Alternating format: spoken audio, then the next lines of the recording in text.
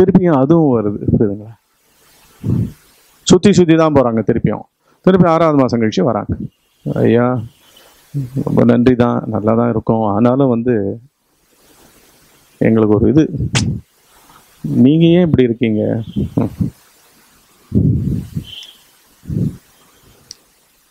உனக்கு வந்து முதல்ல சுள்ளி பிடிக்கின்ற அதுக்கப்புறம் அயன் ஓர் காமிச்சேன். அப்புறம் காப்பர் காமிச்சேன். இதுக்கு மேலே இன்னொன்று கூட இருக்கு. என்னதுயா என்னதுயான்னு கேட்குறாங்க அதை பார்த்தா நீ அடுத்த ஆறாவது மாதம் ஆறு வருஷம் கழிச்சு கூட நீ வரமாட்டியேன்னு இல்லையா? இந்த தப்பு நான் மாத்திரம் நன்றி கெட்டவள் இல்லையா? அது இல்லையா இது இல்லையான்னாங்க. ஸோ அதையும் பார்த்துடலாம். அப்படின்னு சொல்லிட்டு இன்னொரு அரை ஃபர்லாங் தான். உள்ளே போ. ரைட் சைடில் போ. அந்த மூலையில் ஒரு இடம் இருக்குது அந்த இடமத்துல தான் இருக்கு. அந்த இடத்துல மண்ணை விளக்குன்றார். அங்கே போய் பார்த்தா கோல்டு ஓர் கோல்டன் ஓர் வேணுமா? அது ஒரு கிராமே எவ்வளோ? பார்த்துக்க மூவாயிரம் ரூபா நம்ம இண்டியன் ரேட்டு அதில் அஞ்சு கிலோன்னா ஆனால் போன தடவை வந்து மூணு மாதம் கழிச்சு பார்த்தாங்க. அந்த தடவை வந்து ஆறு மாதம் கழிச்சு பார்த்தாங்க. இந்த தடவை என்ன பண்ணாங்க? அடுத்த நாளே போயிட்டாங்க. ஏன்னா ரெண்டு பேரும் அஞ்சு அஞ்சு கிலோ எடுத்துகிட்டு போனாங்க. கோல்டன் வார் பயம் வந்துடுச்சு. எல்லாம் கொடுக்குறவர் அவர் யாருப்பா? அவர் ஏன்பா ஒன்றும் சாப்பிட்றது இல்லை கொள்றது இல்லை அதே பிச்சைக்காரன் மாதிரி உட்காந்துட்டு இருக்காரு அவர் யாருப்பா?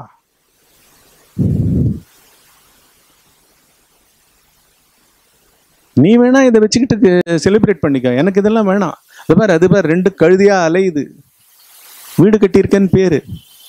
நம்ம இப்படி தான் வாழ்ந்துக்கிட்டு இருக்கோம். உள்ளே நம்மளுக்கு மாத்திரம் இந்த ரகசியம் தெரியும். ஊரில் எங்கேயுமே பரப்பி வைக்காமல் நம்ம மட்டும் பண்ணிக்கிட்டு இருக்கோம். எல்லாம் அந்த ஆளோட இதெல்லாம் பட் அந்த ஆள் யார்? அவர் எப்படி அப்படி இருக்க முடியுது எல்லாத்தையும் கோல்டில் தெரிஞ்சுட்டு இருக்காரு இரும்பு தெரிஞ்சுட்டு இருக்காரு இது மனுஷன் இங்கே பிரபஞ்சத்தில் தேடுறத கோல்டு வேட்டை தானே. ஒத்தனை ஒத்தன் வெட்டிக்கிறான் குத்திக்கிறான். அதனால அருமை பெருமைகள்லாம் பாராட்டிக்கிறாங்க. ஒவ்வொரு அதுவும் இந்தியாவில் முக்கியமாக ஒவ்வொரு கல்யாணத்துக்கும் என் பொண்ணுக்கு ஒரு ஐம்பது கிலோ சேர்த்து வச்சிருக்கேன் அப்படின்றாங்க. அவள் எவ்வளோ கிலோ இருப்பா? இதை தாங்க இதை தாங்குவாளா ஐம்பது கிலோவை?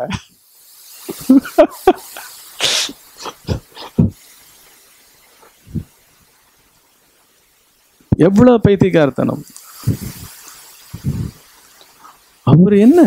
நீ வேணா இது பண்ணிக்கணும்னு அவன் அடங்கிடுறான். அவன் தான் எப்பவுமே இது வச்ச. அவள் அவ அவள் அவள் தான் கொஞ்சம் யோசிக்க ஆரம்பிச்சவ. ஸோ ரெண்டு பேருமா வராங்க. அடுத்த நாளே வந்துடுறாங்க. எதிர்க்க பவ்யமாக வந்து உட்காந்துக்கிறாங்க ஏம்மா? நீ இவ்வளோ சீக்கிரம் வருவேன்னு நான் எதிர்பார்க்கல. குறைஞ்சது ஒரு இந்த ஜென்மத்திலேயே பார்ப்பேனான்னு கூட நான் நினச்சி பார்க்கல. கரெக்டா இல்லையா? என்ன எத்தனையோ பேரால நம்ம ஏழன கண்ணால பார்க்கப்பட்டிருக்கோம் ஏழ்மையில் இருக்கும்போது. கரெக்டா ஒரு பொருள் இல்லாதப்போ எப்படி இருக்கு? பார்வையாலே நம்ம ஐயோ உன்கிட்ட ஒன்றும் இல்லையா? ஐயோ கிழிஞ்ச செருப்பு போட்டுட்டு இருக்கியா செருப்பே இல்லையா? கையே இல்லையா? சாப்பாடு சரி இல்லையா? அப்படித்தானே பார்வைகள். சமுதாயம்ன்றது அப்படித்தானே இருக்கு. ஒப்பிடல் தானே சமுதாய கண்கள் பார்வைகள். ஸோ அதெல்லாம் வேற நீ அவங்களுக்கு முன்னாடிலாம் நீ வந்து உன்னுடைய பெருமையெல்லாம் கொண்டு போய் காமிச்சு உன்னுடைய கோடிகளை காமிச்சு இதெல்லாம் பண்ணி ஈவன் ராஜாவுக்கு கூட நீ போட்டி போட்டுருவ கரெக்டா ஏன்னா போருமே. ஒரு நூறு நூல் பண்ணா ஐயாயிரம் கிலோ கரெக்டா ஆளுக்கு ஐயாயிரம் கிலோப்பா. ஒரு நாளைக்கு அஞ்சு கிலோவா? சரி. ஐநூறு கிலோ. அரை டன்னு. அரை டன்னு அரை டன்னுன்னு. ஒரு ஆறு மாதம் போனால் ஒரு டன்னு. பன்னெண்டு மாதம் போனால் ரெண்டு டன்னு ரெண்டு டன்னு ரெண்டு டன்னு கஜானால கூட இருக்காது. கொண்டு வந்திருக்கலாமா இல்லையா? அங்கே தான் அந்த உயிருள்ள மனிதன் இல்லை. எல்லாம் வச்சுருக்கோம். ஒரு இந்த இந்த இதுக்கே இவ்வளோ போட்டா போட்டி போட்டவங்கெல்லாம் அடங்குறாங்க. நாளைக்கு இதை போட்டு நம்ம இன்னும் பகட்டை காமிச்சோம்னா ராஜாவே நம்மளை வந்து ரைட் பண்ணிட்டு போயிடுவான். கரெக்டா யாருமே சொல்ல வேண்டாம். கரெக்டா அதனால் வந்து அந்த சைடும் பார்க்குறாங்க இந்த சைடு இதெல்லாம் கொடுத்துட்டு இது ஏன் இப்படி இருக்காரு இவர்? இவர் யார்? அப்படின்னு சொல்லிட்டு அவர்கிட்ட வந்து ஆசுவாசமாக உட்காந்து அவள் கண்ணுலேருந்து க அழுகையாக வருது. ஏன்னா அவள் தான் சென்சிட்டிவாக இருக்கான். இவன் மாட்டுக்கு பக்கத்தில் உட்காந்து பார்க்க இவன் ஏன் இப்படி அழறா? அஞ்சு கிலோ தான் காமிச்சிட்டாரு. போய் வாயிட்டு எடுத்துகிட்டு போயிட்டு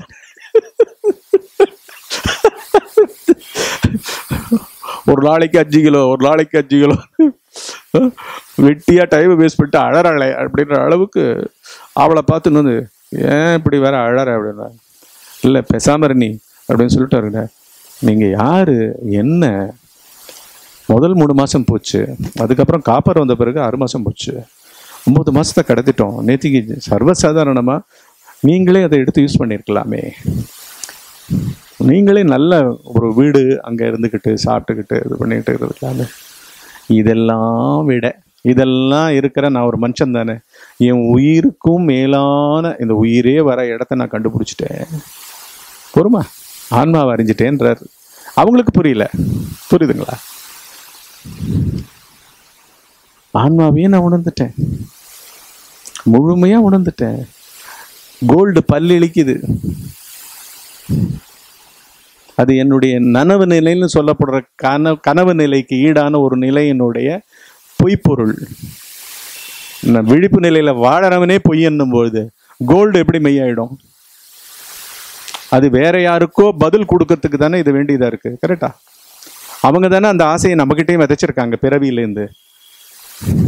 நான் ஏழ்மையா பராரியா இருக்கும் பொழுது எனக்கு முன்னாடி நகையும் ஆபரணங்களும் போட்டு குழந்தைகள்லாம் நிறைய ஊர்வலம் வந்து அப்படிதானே என்னுடைய பெத்தவங்க வந்து பொறாமப்பட்டு போட்டிப்பட்டு இதுதான் அடையணும். அடைஞ்சா அதை தான் அடையணும். அடைஞ்சா வீடு கட்டணும். அடைஞ்சா பொண்டாட்டி கல்யாணம் கட்டணும் குழந்தைகளை பெற்றுக்கணும் நகைகளை வாங்கணும் கார் வாங்கணும் பங்களா வாங்கணும். இதுதானே எல்லாம் ரொட்டேஷ்னல் உணர்ச்சிகள்.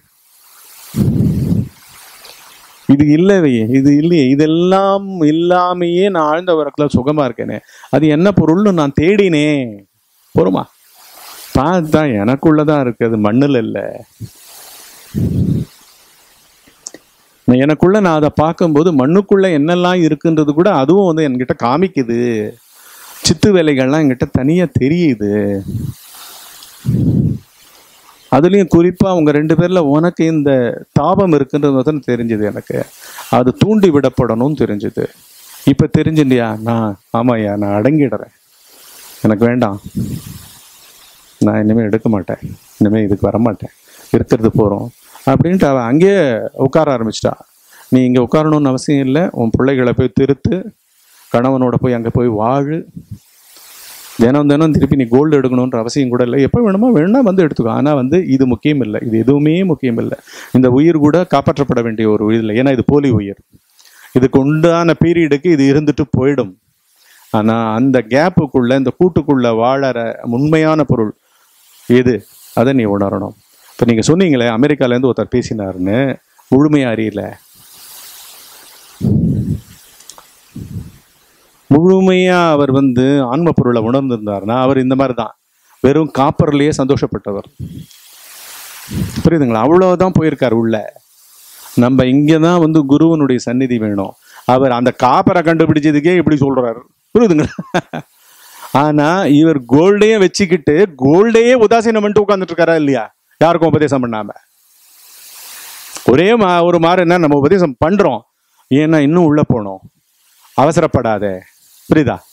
டபக்குன்னு எல்லாம் மெட்டீரியலைஸ் ஆகும் இதே மாதிரி தான் நான் இப்போ சொன்னேன்ல ஆரம்பிக்கும் சொன்னேன்ல. உங்களுடைய பழைய ஆசாபாசங்கள் எல்லாம் அங்கே உருவாகி வந்து நிற்கும்.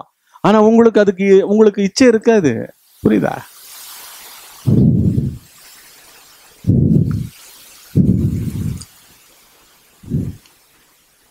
எனக்கு தெரிஞ்ச இதே லௌகிக உல உலகத்துல ஒருத்தர் எனக்கு பரிச்சயப்பட்ட நண்பர். அவர் சொல்றாரு நான் ஒன்றும் இல்லை ஒரு ஒரு ஒரு ஒரு முக்கியமான ஒரு ஒரு பெரிய இந்த இந்த வட்டாரத்தில் இருக்கிற ஒரு முக்கியமான பொருள். அதெல்லாம் கோடிகளில் தான் விற்பனை ஆகுது ஒன்றும் இல்லை ஒரு சினிமா. ஒரு சினிமா எடுக்கப்பட்ட பிறகு அது டிஸ்ட்ரிபியூட்டருக்கு விற்பனை ஆகுது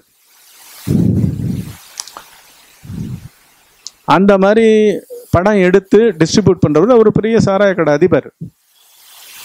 ஒரு ஊரில் ஒரு பெரிய சிட்டியில் இந்த ஃபுல் இந்த சிட்டியினுடைய ஃபுல் ரைட்ஸும் நான் எடுத்துக்கிறேன். உனக்கு தான் அவரை தெரியுமே. படம் எடுத்தவரை. எனக்கு வாங்கி கொடு. எவ்வளோ வேணால் நான் கொடுக்குறேன். அவருக்கு. இவருக்கு வந்து பெருந்தன்மையான நட்பு அவரோட. குருமா. இதெல்லாம் நான் இந்த மாதிரி பேசினது இல்லைப்பா அப்படின்றாரு. உனக்கு தெரியல சரி ஓகே வா. நான் சொல்கிறேன்னு சொல்லி நீ போ. அவர் எடுத்துகிட்டு போகிறார் அஞ்சு கோடி எடுத்துகிட்டு போகிறார் அந்த சிட்டி பூரா டிஸ்ட்ரிபியூஷன் வாங்குறதுக்கு. போய் போனோடனே அவர் வந்து நான் கொண்டு வந்திருக்கேன் ஐயா. ஃபஸ்ட்டு வந்து அவர் சந்திக்கவே விருப்பம் இல்லை. யாரையுமே சந்திக்க மாட்டார். ஏன்னா அவர் இஷ்டத்துக்கு தான் அவர் கொடுப்பார். ஏன்னா அவர் தான் நிர்ணயிக்கிறவர் படத்துக்கு. ஸோ அவர் என்ன பண்ணார்? யார்? என்ன யார் நீங்கள் என்ன? கேட்டார். அப்புறம் சோன்சோ அனுப்பிச்சார் அப்படின்னாங்க. அப்படின்னா சரி வாங்க உட்காருங்க. என்ன வேணும்? இல்லை இந்த உங்களுடைய புது படம் நான் ரிலீஸ் பண்ணலான் இருக்கேன். அதுதான் அவர்கிட்ட கேட்டேன். நான் இதெல்லாம் பண்ணுறது கிடையாதுன்னு சொன்னார். அந்த உண்மையெல்லாம் சொல்லிவிடுங்க சொல்லி அனுப்பிச்சிருக்காரு. இதெல்லாம் பண்ணுறது கிடையாது. இந்த மாதிரி உறவு கிடையாது எங்கள்கிட்ட அப்படி வச்சுருக்கேன் நான் அப்படின்னு சொல்லியிருக்காரு உடனே அவர் என்ன பண்ணார்? சரி அவர் சொல்லியிருக்காரா? ஓகே. ஒரு மூன்றரை கோடி அஞ்சு கோடி கொண்டு வந்திருக்கேன் எனக்கு மூன்றரை கோடி வைங்க போகிறோம் அவர் அஞ்சு கோடி கொடுக்க தயாராக இருக்கார் புரியுதா? மூன்றரை கோடி போகிறோம் மூன்றரை கோடி கொடுத்துட்டு ரைட்ஸை வாங்கிட்டு அந்த ஊர் ரைட்ஸுக்கு அன்னைக்கு இன்னும் வரப்போகுது இன்னும் ஒரு வாரத்தில் ரிலீஸ் ஆக போகுது படம். ரொம்ப சந்தோஷம் பயங்கர சந்தோஷம். வந்தார் நேராக வந்தார் இவரை. உடனே ஒரு பார்ட்டி அவர் தான் பெரிய சாராய கடை அதிபராச்சே. பார்ட்டிக்கு வந்தார். அதெல்லாம் எனக்கு வேணாயா அப்படியா அப்படின்னு அவர் சொன்னார். ஆ என்ன பண்ணார்? ஒரு ஒரு கோடி ரூபாவை போட்டு எடுத்துகிட்டு போய் இந்த இதை நீ வச்சுக்கோ. ஏன்னா அந்த படம் ஹிட்டுன்னு அவருக்கு தெரியும். மூன்றரை கோடி போட்டால் பத்து கோடி வரும் தெரியும். அதனால் கொடுக்குறதுல ஒன்றும் இது இல்லைன்னு அவருக்கு வியாபாரி தானே. ஒரு கோடி என்ன என்ன நீ? இதுக்கா நான் பண்ணேன்? ரெண்டு பேரும் ஒன்லி வாக்கிங் ஃப்ரெண்ட்ஸ் பொறுமா காத்தால பார்க் பண்ணுறதுல வாக் வாக் போகிற வருதுல ஃப்ரெண்ட்ஸ் இந்த காலத்தில் இப்போ சொல்கிறேன் எனக்கு வேண்டான்ட்டார். அதுக்கப்புறம் என்னைக்கோ ஒரு நாள் தன்னுடைய நண்பரை சந்திக்க வரும் பொழுது ஒரு அடுத்த ஒரு மூணு மாதத்தில் சந்திக்க வரும்போது ஐயோ அவன் அடுத்த நாளே ஒரு கோடி ரூபா கொண்டு வந்து கொடுத்தான். எனக்கு வாங்க வேண்டியதானே நீ? அப்படின்றாரு அவரு. புரியுதுங்களா? ச்சே இதுக்கா நான் பண்ணேன்? நான் என்ன இதுவா? டிஸ்ட்ரிபியூஷன் நான் பண்ணிட்டு இருக்கேன். எனக்கு தான் நல்லா இருக்கே. போதும் என்ற மனம். புரியுதுங்களா? எனக்கு நல்லா போயிட்டு இருக்கேன் நான் நல்லா சௌக்கியமாக இருந்திருக்கேன். இதெல்லாம் எனக்கு இருக்கேன் ஆ அங்கதான் நீ. அப்படின்னு அவரும் சொல்றாரு. புரியுதுங்களா? அங்கதான் உன்னுடைய தன்மை. அந்த மாதிரி மூணு மாசம் ஆன பிறகு ஆறு மாசம் ஒன்பது மாசம் கழிஞ்ச பிறகு ஒரு நாள் கோல்டு எடுத்த உடனே படபடக்குது இல்லை ஃபுல்லா மனசாட்சி வெளில வருது இல்லை அது என்ன அது? எலும்பும் தோலுமா பிச்சைக்காரன் மாதிரி பராரி மாதிரி உட்காந்துக்கிட்டு இருக்கு. நம்மளுக்கு பெரிய பெரிய மேன்மைகளை கொடுத்துக்கிட்டு இருக்கு. நல்லா சாப்பிட்டுக்கிட்டு இருக்கோம். இங்கே எப்படி நான் சாப்பிட முடியும்? அது என்ன உணர்வு? எந்த உணர்வு அதை திருப்தி பண்ணியிருக்கு? இவ்வளோ விஷயங்களையும் தெரிஞ்சு. புரியுதுங்களா? இல்லைங்களா? இவங்கள்லாம் என்னன்னா முதல்ல ஜஸ்ட் காப்பரை பார்த்த உடனே ஓடி வந்தவங்க. புரியுதுங்களா? இதுதான் முடிஞ்சு போச்சு போல் இருக்குன்னு நினச்சிட்டு இருக்கிறவங்க. இந்த காப்பரை பார்க்கறதுக்கு இவங்க பட்ட கஷ்டங்கள் இருக்குது பார்த்தீங்களா? அதையே பிரமாதமாக நினச்சிட்டு இருக்காங்க. ஞானமே அடையாமல். புரியுதா? அதை விவரித்து தான் அவங்க சொல்கிறாங்க நான் எப்படியெல்லாம் சொல்லி பொறுக்கி எவ்வளோலாம் பட்டு அப்புறமா தான் எனக்கு ஒரு நாள் திடீர்னு காப்பர் காப்பர்னுடைய மைண்ட் தெரிஞ்ச மாதிரி இது என்னமோ பிசிக்கலா பண்ணி அடையணும்ன்ற மாதிரி அவங்க கற்பனை பண்ணிட்டாங்க. ஆன்ம ஞானத்தை இன்னைக்கு வரைக்கும் சொல்லி கொடுக்குறவங்க எப்படி சொல்லி கொடுக்குறாங்க? என்ன பாவத்தை சொல்லி கொடுக்குறாங்க? இது அது இது என்னமோ பண்ணணும். கரெக்டுங்களா நீங்க டூயர் மாத்திரம் போயிடக்கூடாது. ஆனா அதுக்கு நேர்மாறு என்ன வேணும்? அப்சல்யூட் சரண்டர் வேணும். கரெக்டுங்களா டூயரே இருக்கக்கூடாது. திங்கர் இருக்கக்கூடாது டூயர் இருக்கக்கூடாது எவனும் இருக்கக்கூடாது இல்லை. இந்த உயிரை போலி உயிரா இருந்தா கூட இந்த போலி உயிரினுடைய அதிபதி பரம்பொருள். பேரிருப்பு பேரறிவு பேருணர்வு. இதே கேள்வியை வந்து இந்த அமெரிக்காவில் எடுக்கிறவர் கேட்ட கேள்வியை பகவான் கிட்ட ஆயிரக்கணக்கான பேர் கேட்டிருக்காங்க. அந்த அஞ்சு வருஷம் ரெக்கார்ட் பண்ண புஸ்தகத்தில் எவ்ரி ஆல்டர்னேட்டிவ் பக்கத்தில் இது வரும். உங்களுடைய குரு கட்டாட்சமும் அருளும் தான் எனக்கு வேணும் அப்படின்வாங்க அப்போ அவர் என்ன பதில் சொல்வார் அருளும் ஆசீர்வாதமும் இல்லாத ஒரு க்ஷணம் கூட இல்லை. கரெக்டுங்களா என்னம்மா? நீ வந்து உனக்கு நேர்மையா இருந்து உன்னுடைய எழுந்த உணர்ச்சிய பேசாம கடை. திருப்பி அடுத்த நாள் சுள்ளி பொறுக்க போகாத. காப்பர் எடுக்க போகாத. கோல்டுக்கு போகாத. தின்னு தின்னு என்ன பண்ண போற? தின்றவன் யாரும் தெரிய வேண்டாம். ஏன்னா அந்த அம்மா வந்து உணர்ச்சி மயமா தான் பட்ட கஷ்ட கால சுள்ளி பொறுக்கிற காலத்துலேருந்தே கான்ஷியஸாக சுள்ளி பொறுக்கும் பொழுது படுற வலியும் வேதனையும் உடம்புல மனசில் ஏழ்மை நிலைன்றது என்ன அப்படின்றதெல்லாம் ஃபுல்லாக அண்டர்கோ பண்ணிடுச்சு. இந்த உலகத்தை அதை வந்து எந்த பஸ்து புஸ்தகமும் கற்றுக் கொடுக்க முடியாது. உங்கள் கஷ்டத்தை வந்து எந்த புஸ்தகமாவது ரிலீவ் பண்ணுமா? எந்த குருவாவது ரிலீவ் பண்ணுவானா? ஈவன் ஆன்ம ஞான தேடலாக இருக்கட்டும் இல்லாட்டி அஞ்ஞான கஷ்டங்களாக இருக்கட்டும். கரெக்டா அறியாமை மறைப்புனால இருக்கிற கஷ்டங்களாக இருக்கட்டும். உங்கள் கஷ்டங்கள் கஷ்டங்கள் தானே. உங்கள் பயங்கள் பயங்கள் தானே. எந்த குரு தீத்தாங்க நம்ம என்னை பெத்த அம்மாவால நான் மூணு வயசுக்கு எதையாவது கண்டு பயந்துருந்தேன். நான் அந்த பயத்தை கூட போக்க முடியாது. எப்படி போக்க முடியும்? கரெக்டா இப்போ சின்ன குழந்தைங்களெல்லாம் ஸ்கூலுக்கு அனுப்புகிறோம் இப்போ ஹெவியாக ஹோம்ஒர்க் கொடுத்து அனுப்புகிறாங்க வரும்போது ஆடிக்கிட்டு வந்தான்னு வந்து உட்காருது. என்னம்மா ஏம்மா இப்படி டயர்டாக இருக்கேன் என்னென்ன புஸ்தகத்தினால டயர்டு இல்லை. இருக்கு இன்னொரு ஸ்கூலே நான் இப்போ நடத்தணும். என்னம்மா நிறைய ஹோம் இருக்குமா அப்படின்னும்.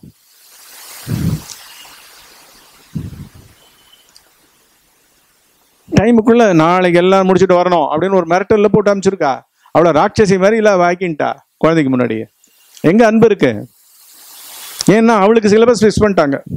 இது மண்டையெல்லாம் ஏற்றிடணும் ஆறு மாசத்துக்குள்ள இதுங்கெல்லாம் வந்து பெரிய ஸ்பேஸ் ராக்கெட்டில் போகிறாங்க எல்லாரும். இவங்களெல்லாம் வச்சு ராக்கெட்டில் அனுப்ப போகிறோம் இவங்களாம் அதை கரெக்டாக ஓட்டிக்கிட்டு போகணும். எங்கள் ஸ்கூல் அப்படி தான் மேடம் எங்கள் ஸ்கூலுக்கு வந்தீங்க இதுதான் எங்கள் ஃபீஸே பார்த்தீங்களா ஒரு லட்சம் ரூபாய் ஒரு மாதத்துக்கு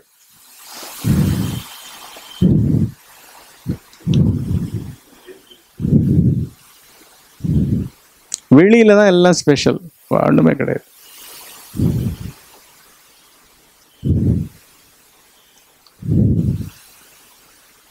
சரி நீ கவலைப்படாத நான் எழுதி கொடுத்துட்றேன் அம்மாவே என்ன பண்ணுவா? டப்ப டப்ப டப்ப டப்பான்னு அவளே எல்லாத்துலேயும் அதை குழந்த மாதிரியே கிறுக்கி கிறுக்கி கிறுக்கி. அம்மா வேண்டாம்மா இந்த மாதிரிலாம் பண்ணாதம்மா.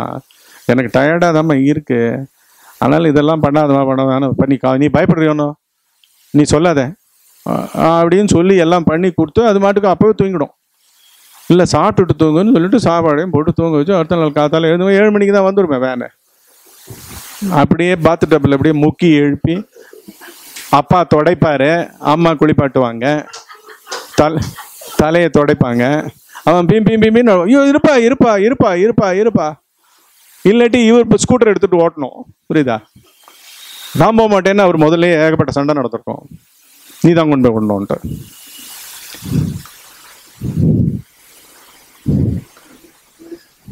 இவங்க என்ன நினச்சிட்டு இருப்பாங்க? எல்லாத்தையும் பண்ணிவிட்டு எப்படியோ அடுத்த நாள் ஸ்கூலுக்கு போகணும்.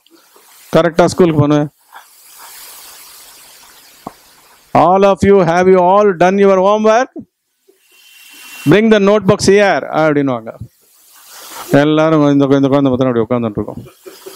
அதுங்கெல்லாம் கிளவராக இருக்கும் என்ன அதுங்களுக்கெல்லாம் அவங்க அம்மா தான் தினமும் பண்ணிக்கிட்டு இருக்காங்க. அதில் மறத்து போச்சு. இது வந்து கொஞ்சம் சின்சியராக பிறந்த குழந்தை அதில் கூட ஃபஸ்ட்டு டைப் இதை ஃபேஸ் பண்ணியிருக்கு.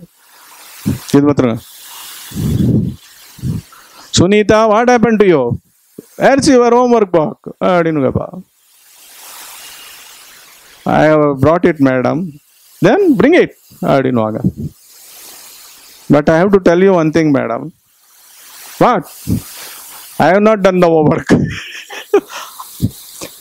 mummy has done it what you should have done it No, no, madam. I, I was so tired. I slept. How dare you say this? உடனே மற்ற பசங்கள்லாம் கூட மொள்ளமாக எழுந்து நிற்கும். What happen to you all you all done no no for me also my father has done for me my aunt has done for me my grandfather has done so no தப்பு எங்க? யாருக்கும் ஒரு சுய ஆராய்ச்சி கிடையாது. ஆனால் அது குழந்தைய குழந்தையா ஒன்றும் இல்லை ஃபஸ்ட்டு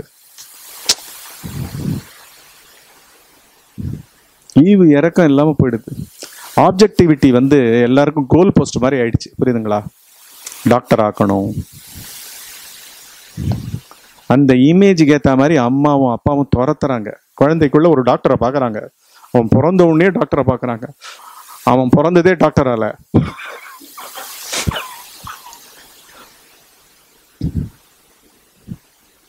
அதை கண்டே பொறாம தான் இவ்வளோ மாதிரி இவ்வளோ ஆக்கிடணும். என்னம்மா பேசுகிறா டாக்டர்னாலே ஒரு சாஃப்ட்னஸ் வந்துடும் போல் இருக்கு. அப்படி இப்படின்னு ஏதோ ஒரு கற்பனை வேற. அந்த ஸ்டைல் வந்துடும் போல் இருக்கு. என்னம்மா சர்ஜரி பண்ணுறா இதெல்லாம் ஒரு பெருமையா பாஸ்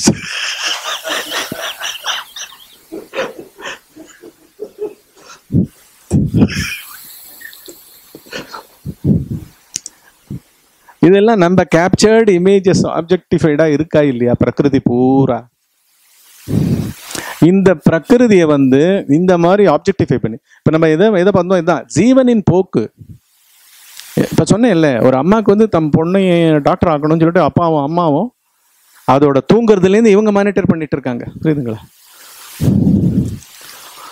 படிடா படிடா படிடான்னு சொல்லிட்டு அவங்களும் பக்கத்தில் உட்காந்து டீ கப்பை வச்சுக்கிட்டு அவங்களும் தூங்குறது எழுந்துக்கிறது எல்லாம் பண்ணுவாங்க. உள்ளே எப்படி செலுத்த முடியும்? பயத்தை எப்படி போக்க முடியும்?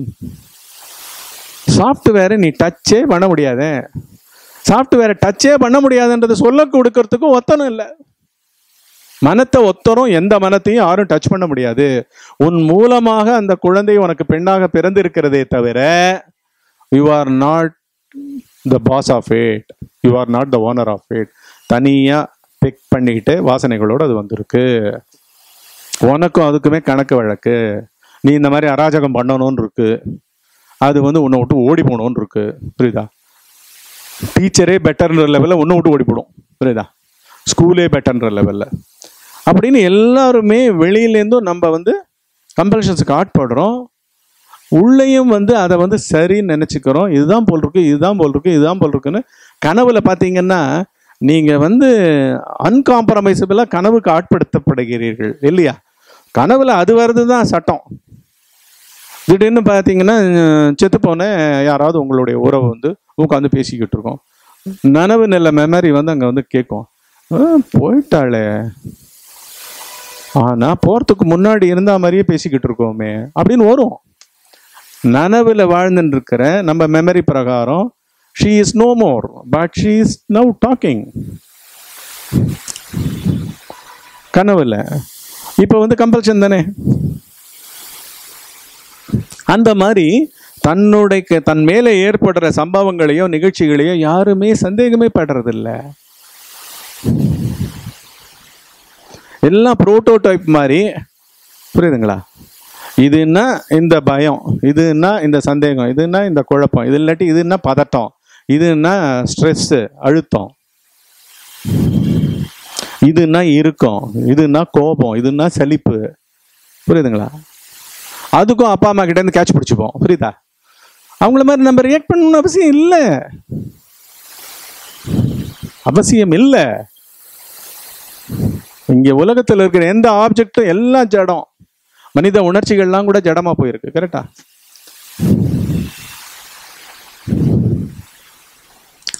தினம் நம்ம குழந்தைகளுடைய அனுபவங்களை என்ன அவன் என்ன பிடிச்சி தள்ளி விட்டான்? என்னடா இது காலில் அடிபட்டு வந்தேன் அவன் பிடிச்சி தள்ளி விட்டான்? நீ என்ன பண்ண? அப்படின்னு கேட்பாங்க. நான் ஒன்றுமே பண்ணலன்னு உட்காந்து நிஜமாகவே உட்காந்து வந்திருப்பான் இவன் வேணும்ட்டே வந்து டொமால்னு வந்து விழுவான் எல்லாம் சம்பவங்கள் தானே? எல்லாமே ஸ்பெசிஃபிக்காக பாஸ்டில் இருந்தால் தானே இங்கே நடக்க முடியும்? மனத்துக்கு ஃப்ரீ வீல் இருக்க மாதிரி நம்ம இங்கே வந்து நான் மூலமாக நினச்சிக்கிறோம். புரியுதுங்களா? என்னால் பார்க்க முடியுது கேட்க முடியுது ஓட முடியுது நடக்க முடியுது. புரியுதுங்களா? இந்த ஃபிசிக்கல் சுதந்திரம் மாதிரி தனியாக இருக்குல்ல. நினைச்சதெல்லாம் பண்ணுறதுக்கூடியது அந்த டூயர்லாம் இருக்காம அவன் தான் குழப்புகின்றான் ஒவ்வொருவரையும்.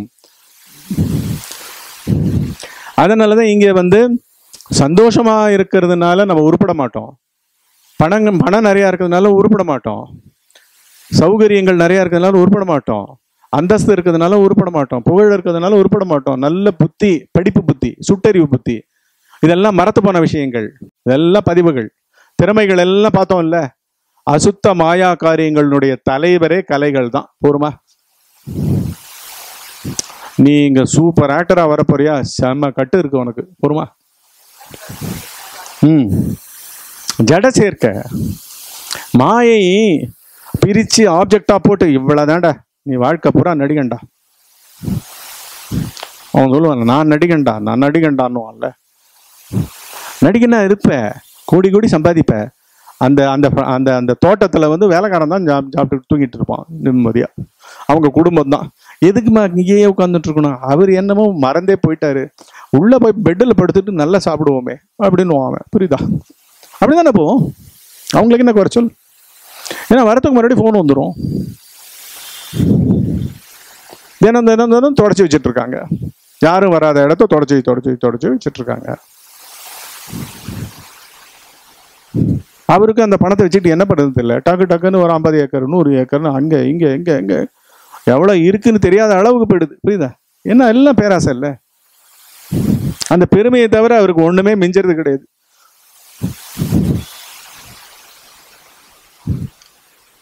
ஒரு தாட்டுக்கு கூட இங்கே இருக்க வேண்டிய அவசியம் இல்லைல்ல எனக்கு ஐயாயிரம் கோடி நான் சேர்த்துட்டேன் இந்த சினிமா இண்டஸ்ட்ரி மூலமாக அப்படியா? ஸோ வாட் இதெல்லாம் தாட்டு தானே.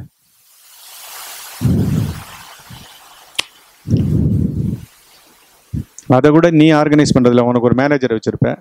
அந்த மேனேஜர் ஒரு பத்து எம்பிஏ போட்டிருப்பான் அங்கங்கே. புரியுதா? ஏன்னா அஞ்சாயிரம் கோடினா அவ்வளோ பெரிய எஸ்டேட் இருக்கும். பராமரிப்பு எவ்வளோ பேர் இருக்கணும்?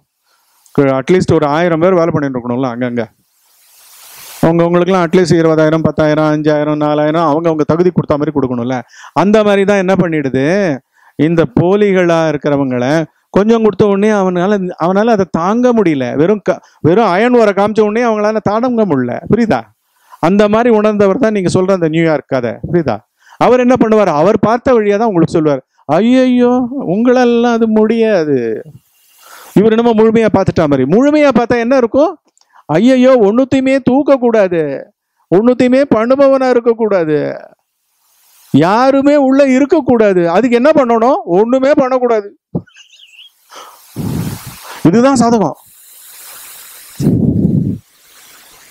உணர்ந்து ஒண்ணும் பண்ணாதவனா நிக்கணும் அங்க. கரெக்டா என்ன கூட்டங்கள் வந்து தானே என்ன? இவ்வளோ பேர் என்ன வச்சு பண்ண வந்துட்டீங்களா?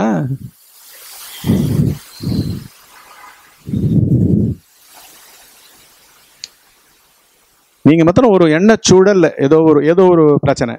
பிரச்சனை சூழல்ல சீரியஸா யோசிச்சுன்னு என்னம்மா ரொம்ப யோசிச்சுட்டே இருக்க அப்படின்னு உங்கள் ஃப்ரெண்டு வந்து எழுப்புவான் இல்லை அதை போல் ஒவ்வொருத்தரும் இங்கே சுழண்டு சுழண்டு வரோம்ல. ஆனால் ஞான பாதையில இருக்கிறவன் என்ன பண்ணுவான்? அட என்ன திடீர்னு எனக்கு இவ்வளோ ஜுரம் பிடிச்ச மாதிரி யோசனை? இதெல்லாம் தனிமைன்னு நல்லா தெரியுமா இல்லையா? அதுக்கு தானே போட்டோம். தனி மனிதன் அப்படின்னா தனி மனம். தனி மனம் வந்து நீங்கள் என்னத்த வச்சிட்டு இருக்கீங்க? இதுதானே. நூறு எண்ணங்களோட அப்படி இப்படி இப்படி இப்படி தனியாக உட்காந்துக்கிட்டு அந்த சமயத்தில் அந்த எண்ணங்கள் உடம்பு பூரா பரவும். எல்லாத்தையும் மாற்றும் இதுவா வாழ்க்கை? அடிச்சு தூக்க வேணாம் ஒரு பார்வை இல்லை. தனிமையே இல்லைன்னு இருக்க வேண்டாம். அப்படின்னா உடனே போய் வெளியில போய் குதிக்கிறது இல்லை. உடம்பு சம்பந்தமான விஷயமே இல்லை. எண்ணம் சம்பந்தமான விஷயமே இல்லை. உணர்ச்சி சம்பந்தமான விஷயமே இல்லை. அப்படின்னா என்ன? இங்க ஆளே இல்லடா. அது என்ன வெளியானதை பத்தி எனக்கு கவலை இல்லை. அங்கதான் இருப்பேன். அப்படி இருந்தவர் தானே அந்த காட்டுக்குள்ள இருந்த அந்த இவரு பிச்சைக்காரன். இல்லாட்டி அந்த கும்பலோட இருந்திருப்பாரு நகரத்துல. கரெக்டா அவருக்கு கோல்டு தெரிஞ்சிருந்தனா காப்பருக்கே ரெடியா இருந்திருப்பாரா இல்லையா இவங்கள மாதிரி? ஏன் மகரிஷிகள்லாம் வந்து அங்கேயே எங்கேயோ பொட்டல் காட்டுல குகைக்குள்ள அஞ்சுக்கு அஞ்சு ஒரு குகைக்குள்ள ஒரே ஒரு மலைப்பாறையில வாழ்நாளையே கழிக்கிறாங்க? ராஜா மகாராஜா. எல்லாத்தினுடைய பிரபஞ்சத்தினுடைய கம்ப்ளீட் ஆப்ஜெக்டிவிட்டி எது? சிவ தத்துவம் கரெக்டா அதுக்கு கீ ஆமா புரியுதுங்களா? ஆப் அங்க அவர் வந்து அந்த ஆப்ஜெக்ட்ஸாவே மாற மாட்டாரு. நீங்க என்ன எண்ணங்கள் ஆப்ஜெக்ட்ஸா இல்லையா? உங்களுடைய குழந்தைகள் தானே கையை காலம் முச்சிக்கிற மாதிரி தானே? வீட்டுக்கு வந்து டேடி டேடி டேடின்னு எல்லாம் உட்காந்து ஏற்கனவே டயர்டாகி வந்திருப்பீங்க. புரியுதுங்களா? எங்க குழந்தைங்களை இப்படி எட்டி வதைக்கிறீங்கன்னு அங்க என்ன ஒருத்தன் எட்டி வச்சான்? அது உனக்கு தெரியாது. அதெல்லாம் நீ பார்த்துருந்தேடா இதுகளெல்லாம் நான் பெற்றிருக்கவே மாட்டேன். நொத்த கதையை புலம்ப ஆரம்பிச்சிருவாரா இல்லையா?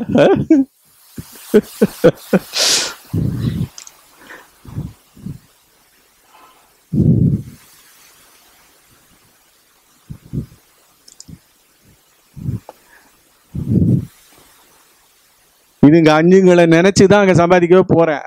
ஆனால் அங்கே வாங்குற அங்கே வாங்குற வதை வந்து கல்யாணம் பண்ணுவியா பண்ணுவியா பண்ணுவியா?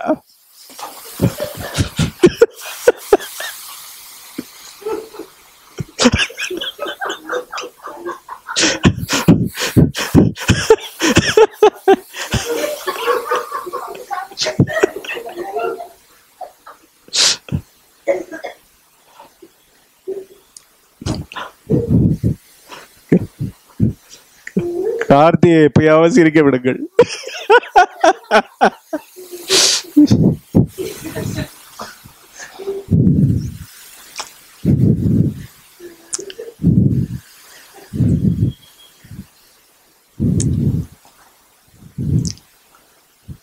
தவறு சரியே இல்லை. இதுல தவறு சரி இரு- திருப்பி இரட்டை உணர்ச்சிகளுக்குள்ள நம்ம தேடுறோம். தப்பு பண்ணிட்டேன்றான் அவன் அந்த அப்பன். புரியுதுங்களா? தப்பு பண்ணிட்டேன். தப்பும் கிடையாது தப்பு சரி ரெண்டுமே கிடையாத ஒரு நிலை ஆழ்ந்த உறக்கத்துல இருக்கு. இது வேற இடத்து பிரச்சனை. இது வந்து உன்னுடைய வாழ்க்கை பிரச்சனையே இல்லை. எல்லாருடைய மனிதர்களுடைய வாழ்க்கை பிரச்சனைக்கெல்லாம் விடிவு எங்க இல்லை. எங்க தேடுறோம்? நம்ம அதே மனத்துல தேடுறோம். ஒரு பெத்துக்காத பெத்துக்காதவன் வந்து ரொம்ப சாமர்த்தியமா அவாய்ட் பண்ணிட்டாங்க ரெண்டு பேரும். அப்படின்னு நினைச்சுக்கிறோம். புரியுதுங்களா?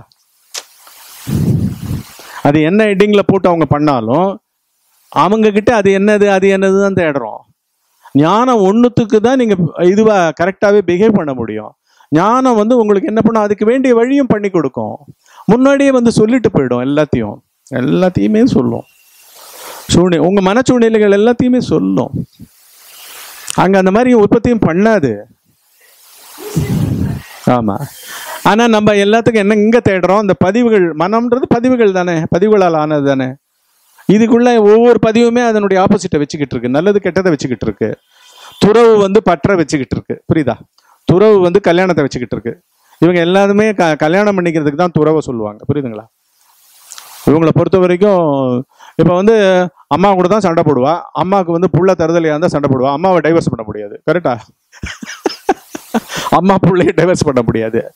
ஆனால் அப்போ கல்யாணம் பண்ணிட பொண்ணை மொத்தம் டைவர்ஸ் பண்ணலாம். ஏன் அந்த சகியாமை? சகிப்புத்தன்மையிலேருந்து இல்லைன்னு தானே அர்த்தம். அந்த பெண்ணே கூட பண்ணா. பெண்ணே கணவனை பண்ணுறா வச்சுங்க அப்பாவை பண்ணிடுவாளா? அப்பா பயங்கர குடிகாரன். காண்டி- கட்டின கணவனோட அப்பன் தான் மொடா குடி அவன் தான் கற்றுக் கொடுத்தான் போருமா புருஷனுக்கு. இப்போ அப்பாவை டைவர்ஸ் பண்ணிவிட முடியுமே? மாமாவை டைவர்ஸ் பண்ண முடியுமா அண்ணனை டைவர்ஸ் பண்ணிட முடியுமா? ஸோ பயங்கர பேத்தல். போருங்களா இதுக்குள்ள எங்க நீங்க கரெக்ட் பண்ணுவீங்க? இதெல்லாம் மனத்தினுடைய அவங்களுக்கு வந்த பதிவுல அவங்க நடந்துகிட்டு இருக்காங்க. இதுல வந்து சரி தவறு எங்க இருக்கு?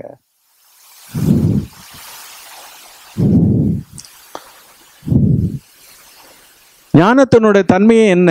வெளியில கரெக்ஷனே பண்றது கிடையாது. குடிகாரனை மாத்துறதுக்கு நம்ம வரல. குடிகார புருஷனை மாத்துறதுக்கு வரல. வேற ஏதான கெட்ட பழக்கங்கள் இருக்கிறவனை மாத்துறதுக்கு வரல. நீங்கள் பார்த்தீங்கன்னா அந்த காலத்தில் மெய்ஞானிகள் யாருன்னு பார்த்தீங்கன்னா பெண்கள் தான் நிறையா. சாவித்ரி நளாயினி அப்படின்லாம் சொல்கிறாங்களே காரைக்கால் அம்மையார். காரைக்கால் அம்மையாரை பார்த்து அவங்களுடைய சித்து வேலையை கண்டு பயந்து போய் ஓடி போடுறான். அப்படியா புரியுதுங்களா? ம்? மீரா ஆண்டாள். மீராக்கு வந்து ராஜாவே பெரிய ராஜா ராணா இதில் அந்த இதை மேவார் மன்னர் அவர். ஆனாலும் அவள் வந்து சின்ன வயசுலேயே வந்து அந்த அந்த காதல் உணர்வில் பரம்பொருளையே ஒரு சிலையா சிலையா பாவிக்கலை. அதுக்கு மாலை போட்டு கல்யாணம் பண்ணிட்டா. அவளுக்கு இந்த கல்யாணமே பிடிக்கல. கடைசியில் அங்கேயே போய் ஐக்கியமாயிடுறா.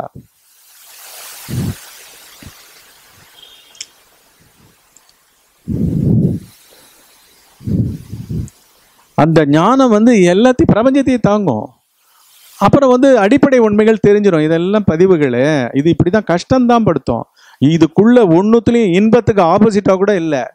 இன்பமே துன்பம் தெரியும் உங்களுக்கு. புரியுதுங்களா? நல்லதே கெட்டது. புண்ணியமே பாபம். நீங்கள் ஒரு வேலைக்கு நீங்கள் லௌகிக உலகத்தில் ஒரு வேலையை ஆரம்பிக்கிறீங்க வச்சுங்க எல்லாம் நல்லதாக முடியணும் அப்படின்னு நினைக்கிறத விட புரியுதுங்களா? கெட்டதாக தான் முடியும் நீங்கள் ஆரம்பிக்கலை. ஒரு வேலை ஆரம்பிக்கிறீங்க ஒரு ஒரு ப்ராஜெக்ட் ஆரம்பிக்கிறீங்க ப்ராஜெக்ட் ப்ராஜெக்டை நீங்கள் எடுக்கும் போதே நெகட்டிவாகவே போங்க. You will not lose any இது பூரா நஷ்டம் தான் போருமா நஷ்டம் தான் அடைய போகிறேன் ஃபஸ்ட்டு அந்த சஃபரிங் எல்லாம் உங்களுக்கு தெரிஞ்சிருக்கும்ல அப்படின்னா நஷ்டம் அடைய போறீங்கன்னா என்ன அர்த்தம்? நான் இன்னைக்கு ஃபஸ்ட்டு போகிறேன் ஒருத்தனை போய் பார்க்குறேன் அந்த ஃபீஸை கட்டுறேன் அதுக்கப்புறம் கம்பெனி இன்கார்பரேட் பண்ணுறதுக்கு இவ்வளோ ஒரு அஞ்சு கோடியை மொத்தம் எங்கள் அப்பா வந்து ஆயிரம் கோடி வச்சுருக்காரு. சரி இந்த அஞ்சு கோடி வச்சு ஆரம்பி அப்படின்ட்டாரு. அஞ்சு கோடியை கொண்டு போய் கொடுங்க. இதுவே புஸ்வானமாக எடுப்போகுது. போகுது அப்படின்னு நீங்கள் போங்களேன் புஸ்வானம் ஆகாது. ஏன்னா நெகட்டிவ்ல இருக்கிற பாசிட்டிவ் ரெண்டுமே மைனஸ் ஆகிடும் ஃபிசிக்கல் லாஸில் கூட அப்படி வந்துடுச்சுன்றதை நான் இப்போ இப்போ தான் கண்டுபிடிச்சேன். ஏன்னா நைன்டி ஃபைவ் பர்சன்ட் வந்து இன்விசிபிள் யூனிவர்ஸ் தான். போருமா? சயின்டிஸ்டுக்கு ஒன்றுமே இல்லை. இங்கே பண்ணுறதுக்கே ஒன்றும் இல்லாமல் பிடுங்கிடுச்சு அது காத்த. எல்லாம் பூரா negative masses anti gravity anti matter anti energy anti எனர்ஜின்னா என்ன அர்த்தம்? சக் பண்ணிடும். பிளாக் ஹோல்ஸ் மாதிரி. வெளியில் விடாது. டிஸ்பிளேக்கே விடாது. எந்த ஸ்டார்ஸையும் ஸ்டார்லாம் வந்து லபக் லபக் லபக்குன்னு சாப்பிட்ருவோம் அங்கே லைட்டே ட்ராப் ஆகிடுதான் பொறுமை அப்படியே அதுதான் இன்விசிபிள் இப்போ ஆழ்ந்த உறக்கத்தில் என்ன என்ன யூனிவர்ஸ் அது? நம்மளோட ஆழ்ந்த உறக்கத்தில். ஒரு பொட்டு தாட்டு கிடையாது. இருப்பு தான் உட்காந்துட்டு இருக்குல்ல? தாட்டு தான் ஃபாஸ்டஸ்ட் லைட்டை விட. கரெக்டா தாட்டையே ட்ராப் பண்ணுதுன்னா தூக்கம். புரியுதுங்களா? அதனால தானே இவங்க நல்லா கண்டுபிடிச்சு தானே அங்காரம் மச்சம் தனை அடக்கி அறிவோடு தூங்காமல் தூங்கி சுகம் பெறுன்றாங்க. அந்த காட்டில் போய் வருஷ கணக்காக நாட்டையே விட்டுட்டு அங்கே தங்க இருக்கு இங்கே காப்பர் இருக்கு எல்லாத்தையும் கண்டுபிடிச்சிட்டு பேசாம ஒருத்தன் உட்காந்துட்டு இருக்கான்னா எப்பேற்பட்ட மகிமையான விஷயத்தை கண்டுபிடிச்சிருக்கணும்? இவன் வந்து கோஷம் போட்டு சொல்றான்னா யாரோ ஒரு நியூயார்க்கில் ஒருத்தர் சொல்றான்னு சொல்றீங்களா? ஏன் சொல்றாரு அவரு? தன்னை காப்பாத்திக்கிற மாதிரி நினைச்சுக்கிறாரு. இவன் எங்க வந்து நம்மளை பிடிச்சின்னு தொங்கிடுவானோன்னு சொல்லிட்டு அதெல்லாம் ரொம்ப கஷ்டம் அவங்களெல்லாம் அடைய முடியாது உங்களுக்குலாம் அந்த சக்தி கிடையாது. அப்படி உங்களை டிஸ்கவுண்ட் பண்ணாதான் இவர் ஏதோ ஒரு மா ஒரு நாளைக்கு ஒரு ரெண்டாயிரம் டாலர் சம்பாதிச்சுட்டு இருப்பார். இந்த மாதிரி பிரசங்கம் மூலமா. புரியுதுங்களா? அட்லீஸ்ட் அதை அதே வியாபாரமாக வச்சுட்டு இருப்பார். இந்த எப்படி வந்து இரும்பு ஓரை எடுத்துன்னு போய் அவங்க மூணு மாதம் வியாபாரம் பண்ணாங்க. அப்படி தான் இந்த ஆன்மீகம் பண்ணுறவங்கெல்லாம் எப்படி பண்ணுறாங்க எத்தையோ ஒரு பத்து பாயிண்ட் இந்த புஸ்தகம் அந்த புஸ்தகம் இந்த புஸ்தகம் எல்லாத்தையும் வச்சுக்கிட்டு புரியுதுங்களா? சுள்ளி பொறுக்கிறவங்களுக்கு சுள்ளி பொறுக்கிற மாதிரி அதெல்லாம் அதை விற்கிறாங்க நம்ம என்ன நம்ம அடியோட நம்மளுக்கு ஒண்ணுமே தெரியாம இருக்கும். பேபே பேபேன்னு இருக்கும். இந்த அப்படின்னு சொல்லிட்டு கொஞ்சோண்டு அயன் உரம் நம்ம கையில கொடுக்குற மாதிரி கொஞ்சம் விபூதி எடுத்து கையில கொடுக்குறாங்க. இல்லாட்டி இந்த ஒரு பத்து பாயிண்ட் இதை பிடிச்சிக்கோ அப்படின்றாங்க. இதுக்கு மேல நீ கேட்கணும்னா ஜாஸ்தி கொடு. எங்க வியாபாரமா மாறுறது? அவன் அவன் வந்து ஆள் இருந்துகிட்டே இருந்தான் ஒவ்வொரு செகண்ட்லயும் அவன் தேடுறதெல்லாம் இப்போ உங்ககிட்ட காசை சம்பாதிச்சாகணும் இதே வியாபாரம் ஆகிட்டான். இதை தொடர்ந்து பண்ணணும்னா உங்க ஒத்தங்கிட்டே மாட்டிக்க முடியுமா? ஆ முழுமையா உணர்ந்தா வந்து எல்லாருக்குமே ஓப்பனாக போயிடும். கருணை தான் வரும் அன்பு தான் வரும். அவசர புத்தி இருக்கிற திருடங்கள்லாம் என்ன பண்ணுவாங்க? பார்த்துக்கிட்டு தான் இருப்பாங்க. சச்சங்கத்தை பார்த்துக்கிட்டு இருப்பாங்க. ஆ இந்த பாயிண்ட் தான் போல் இருக்கு. இது அப்படியே ஒரு பேசுறத அப்படியே மனப்பாடம் பண்ணுவோம். எடுத்து ஒரு பத்து பேர்கிட்ட பேசுவோம். கொஞ்ச நாள் ஓட்டலாம். ஆமாம் அதுலேருந்து ஒரு கேள்வி கூட இரு இரு இரு, இரு நான் ரெஃபர் பண்ணிக்கிறேன். இதுக்கு என்ன பதில் சொல்லியிருக்காரு? அது என்னப்பா வந்து தானே ஆகணும்? நம்ம எதுக்கு ஸ்கூலில் வந்து பிட் அடிக்கிறாங்க பசங்க? புஸ்தகமே கிடைச்சா எப்படி இருக்கும் அவங்களுக்கு? நல்லா தான் நல்லா படிச்சுன்னு போன பையன் கூட என்ன ஸ்டார்டிங் ப்ராப்ளம் இருக்கும். இப்போதானே வாசலில் பார்த்தோம். அதுவே முதல் கேள்வியாக வந்துருக்கு. கடைசியாக பார்த்த கேள்வி ஃபுல்லாக நான் படிச்சிருந்தேனே. என்னடா எங்கடா காணாமல் போச்சு? என்னமோ பாக்கெட்லேருந்து பர்ஸு போன ப- பணம் போன மாதிரி சுத்தமாக ஸ்டார்டிங்கே வரலையே. நல்லா தெரியுமே. அப்படியே இருபது மார்க் அப்படியே கொட்டியிருக்கலாமே எடுத்த உடனே கான்ஃபிடென்ட்டா இல்லை காணும். உள்ள காணும். தான் அந்த அவசர புத்தியில தான் இந்த வியாபாரம்லாம். இந்த நியூயார்க்கில் பேசுகிறவராக இருக்கட்டும் இப்போ பண்ணுறவங்களா இருக்கட்டும். புரியுதுங்களா? எல்லாம் பின்னாடி அகந்தை வந்து பயமயமாக இருக்குது புரியுதுங்களா? எங்கே வந்து யார் வந்து எவனாவது வந்து நம்மளுக்கு அடங்காத எவனாவது வந்து ஏதாவது கேள்வி கேட்டுருவானோன்னு ஓயாமல் அந்த ப- கலக்கம் இருக்குது அப்புறம் இன்னி கச்சேரி எப்படி ஓட்டுறதுன்னு இருக்குது இந்த மாதம் எலக்ட்ரிசிட்டி எப்படி கட்டுறதுன்னு இருக்குது இன்றைக்கி இந்த இந்த இந்த இப்போ திரும்பினா ஏதாவது ஒரு ஃபங்க்ஷன் வருது. அதுக்கு எல்லாத்துக்கும் சாப்பாடுலாம் வேறு போகணுமே. வாலண்டியர்ஸை கூப்பிட்டு ஏன்பா எல்லாரையும் கூப்பிட்டு தனி போர்ட் மீட்டிங் போட்டு என்னப்பா இன்னும் அவங்களுக்குலாம் ரிமைண்டர் அனுப்புங்க. இமெயில் அனுப்புங்கப்பா வர சொல்லுங்கப்பா எல்லாரையும். டிஸ்கவுண்ட் கொடுங்கப்பா. வியாபாரம் தானே இது? கார்த்தியாவது ஒரு கம்பெனிக்கு நிஜமா ஏதோ ஒரு பொருளுக்கோ இதுக்கோ ஒன்றும் வேலை பண்ணுறாரு இது என்ன வியாபாரம் இது? பக்கங்கிட்ட வியாபாரம் இல்லை இது?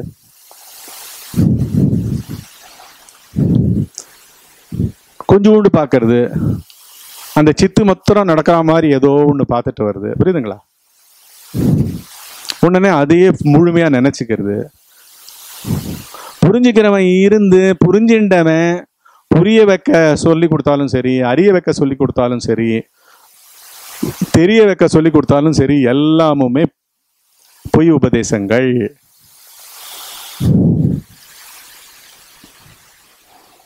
நீங்க கேட்கலாம் நீங்க என்ன பண்ணிட்டு இருக்கீங்க? அப்படின்னு கேட்கலாம். நான் உங்களுக்கு புரிய வைக்கவே ட்ரை பண்ணல.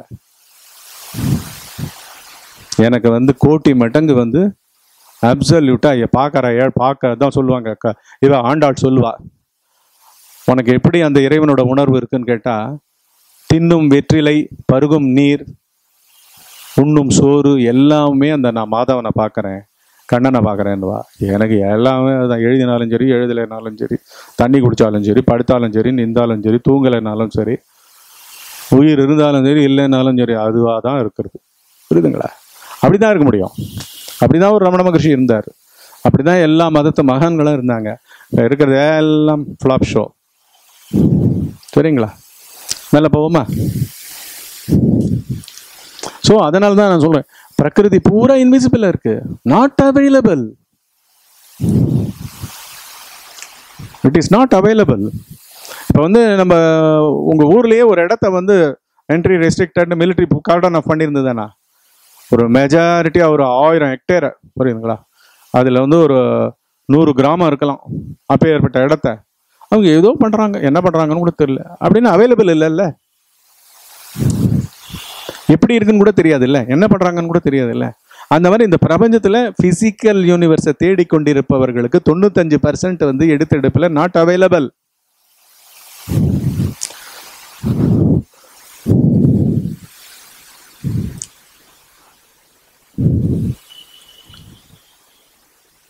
அவன் தேடுறதனோட நோக்கமே என்ன? எண்ட் ரிசல்ட்டாக எதுவே பண்ணிக்கலாம்னு நினைக்கிறான் அதை கரெக்டா அஞ்சு பர்சன்டே அவன் பார்த்ததுனால என்ன பண்ணிட்டு இருக்கான் அவன்?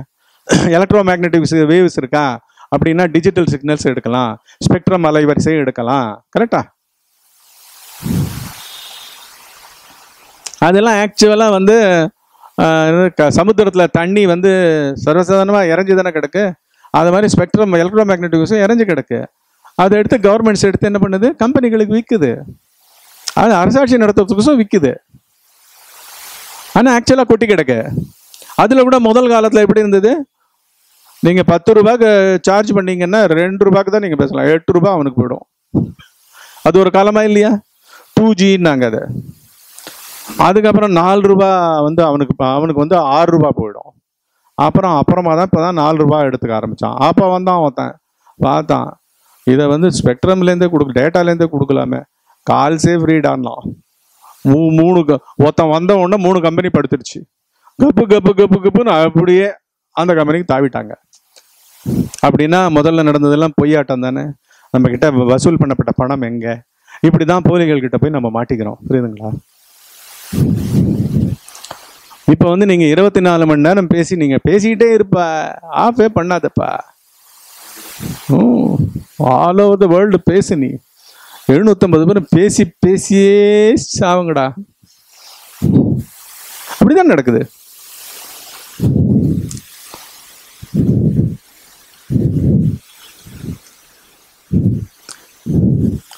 வாட்ஸ்அப் கொடுத்து அரை செகண்ட் கூட இருக்காது. ஃபோன் வந்துடும் உடனே. வாட்ஸ்அப்பை பாருங்க வாட்ஸ்அப் பார்க்கறதுக்கு கூட அரை செகண்ட் வேணுமேப்பா. அதுக்குள்ள நீ ஃபோனில் வந்துட்டு எங்க பார்த்தாலும் உன் முகம் வரையவே மாட்டேங்குது நீ பார்க்க மாட்டேன்னு தெரியும். அதனால தான் இமெயிலும் கொடுத்துருக்கேன். அதுக்கு முன்னாடி இமெயில் கொடுத்து தான் வாட்ஸ்அப் கொடுத்தேன். இன்னும் இமெயிலாம் அட்லீஸ்ட் அஞ்சு நிமிஷம் பொறுத்து கொடு நீ வாட்ஸ்அப்பையாவது இப்படி தள்ளிட்டு இதில் பார்க்கலாம். இமெயிலில் பார்க்கணும்னா ஃபுல்லாக எல்லாம் போயிடும். கதறணுமா இல்லையா? பட் என்ன பிரயோஜனம் கடைசியில்? ஸோ ஆப்ஜெக்டிவிட்டிக்கு ஆப்ஜெக்ட் ஆப் பிரம்மாண்டமே ஏற்கனவே நம்மளை மயக்குது ஆப்ஜெக்ட்ஸாக இருந்து. புரியுதுங்களா? அதுவும் சிவ தத்துவம். சிவ தத்துவத்தில் ஆப்ஜெக்டிவ் தத்துவம். அதை மாயாசக்தி கிளியராக கோடு போட்டு வெட்டி அந்த ஆப்ஜெக்ட்டுக்கும் நம்மளுக்கும் லிங்க் பண்ணிடுச்சு. இப்போ அந்த லிங்க் பண்ண விதம் எப்படின்றது அடுத்தது வரும். புரியுதுங்களா? அதுக்கே போயிடலாமா ஓரளவுக்கு கொஞ்சம் இதுவாக முடிச்சுப்போம். வாங்க. இது தொடச்சி விட்ருங்க சித்தம்போ ஜீவன் போக்கு சிவம் போக்கு அதெல்லாம் புரிஞ்சுதா? ம் ஓகே. இந்த இதுலேருந்து அடிச்சிருங்க. சப்ஜெக்டிவிட்டிலேருந்து அடிச்சிருங்க. நேராக அடுத்ததுக்கு போயிடுவோம். இப்போ நம்ம என்ன பார்த்தோம்? புருஷன் அதாவது இண்டிவிஜுவல் அண்ட் பிரகிருதி பார்த்தோம். அதுக்கு அடுத்தது வந்து பிரக் ப- புருஷன் புருஷன்றவங்கிட்ட அந்த கரணங்கள் உருவாகுது. புத்தி அகந்தை மனம். இது மூணு உற்பத்தி ஆகுது. என்ன சப்ஜெக்ட்டுக்கு தான் இப்போ ஃபர்ஸ்ட் ப்ரிஃபரன்ஸ் கொடுக்குறாங்க. நீங்க பாத்தீங்கன்னா பிரகிருதிக்கு கீழே வருது பாருங்க.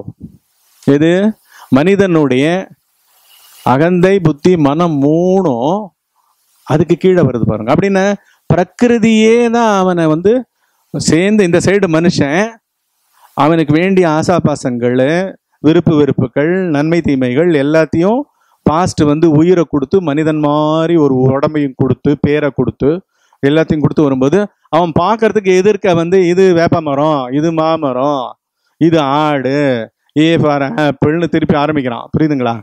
வாசனை குவியல்லேருந்து அங்கே ஆப்ஜெக்ட்ஸையும் அந்த மாதிரி வச்சிருக்கு? அப்படின்னா இது இதுக்குள்ள அது இருக்கு. இதுக்குள்ளேருந்து உயிர் வருது. இது மனத்துக்குள்ளேருந்து உயிர் வருது. பிசிக்கல் உயிர் வருது. அதுவும் பிர- பிரகிருதிக்குள்ள வருது. புரியுதுங்களா? இவங்க புருஷன் புருஷன் அவங்க சொல்றது என்ன? சப்ஜெக்டிவிட்டியா சிவமே இறங்குறத புருஷன்றாங்க. அதுதான் உண்மையான செல்ஃப் பொறுமை